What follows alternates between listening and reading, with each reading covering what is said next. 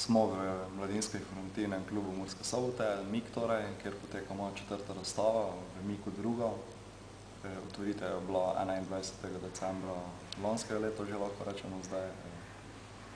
Razstava je v bistvu, naslov razstave same je Emotional landscapes, kar pomeni, da v bistvu hočem pokazati na petnajstih delih nekšno moje mnenje, moje vizije glede na dogajanje dandanes, pač v malih skritih sporočilcih. Kot rečeno, petnajst del na platnih je razstavljenih. Razstava bo še kar nekaj časa trajala v januarju, tako da si lahko ogledate. Samo sama otvoritev razstave pa je bila zelo pozitivna napram tega, da nismo imeli nobenih kakšnih plakatov, ampak samo vabila. So bili šli kar alternativna publika, tudi normalna publika, ljudje pač, katere to zanima, ali pa so prišli pogledat, kaj to sploh je zdaj.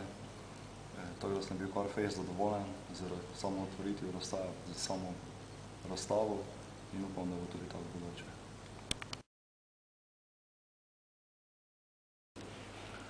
Moje izražanje se giblje v stilu street arta, kjer seveda tu v Pomurju še kar neznano področje glede ustvarjanja samega, kako poteka v street artu.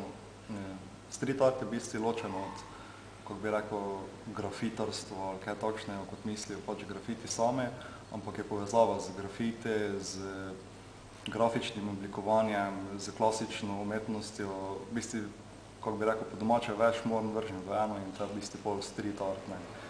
Izražanje samega street arta pa je glih to, da da si neobremenjen z bilokakšnimi, ne vem, z bilokakšnimi šolskimi stvarmi, kot so s kakšnimi podatki ali kaj, ampak ustvarjaš v bistvu samo z glave direktno v roko pa na podlago čopič pač ali šprej ali karkoli že vzameš, pa pač ustvarjaš, ne, to je street art.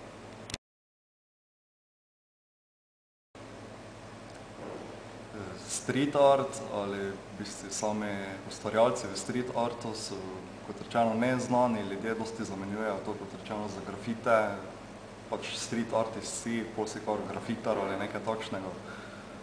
Ampak žalostno je to pač, ker je res neznano področje še to tu v Pomurju in da ljudje ne vejo v bistvu, kaj vse zasega street art, ne, kar od mariborske strani pol dalje dol proti Ljubljani že kar ljudje vejo, kaj je street art pa kakšni so izvajalci.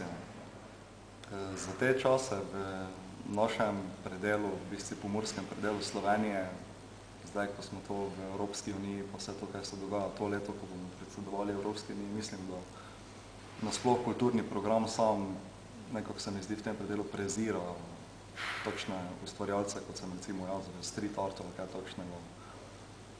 Bi si niti ne pomislil, da bi lahko v bistvu kaj prispevali k samemu kulturnemu programu letos ali pa nasploh v bistvu, ne, kar že v Ljubljani poteka dalj časa, razstave pa raznorazne prireditve ali pa kakšni bienali ali kaj takšnega recimo, bi se dalo kaj fajn ustvarjati s tem.